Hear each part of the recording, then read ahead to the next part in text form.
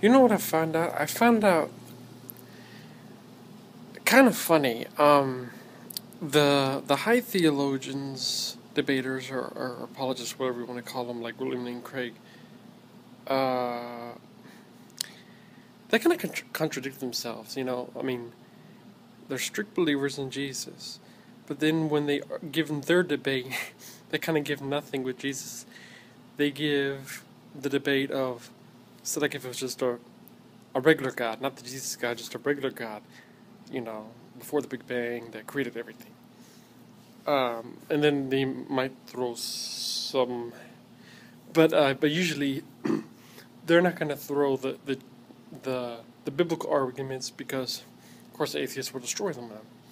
But the high theologians, I found like William Craig or um, or apologists, whatever you call it, they have like these premises. They break them down like the teleological argument. I don't even know where they come with this stuff. It's like, it's, it, it, they're really doing it from a science perspective. Um, see, that's how they're debating, and, and they they get some crazy. I don't know.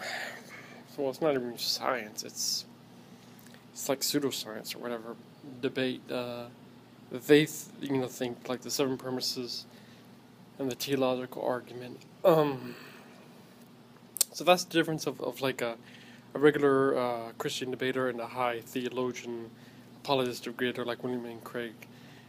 They they actually have some good facts, but I, I don't know who came up with this stuff because it's really pseudoscience. I mean, these theological arguments. Uh, I guess some.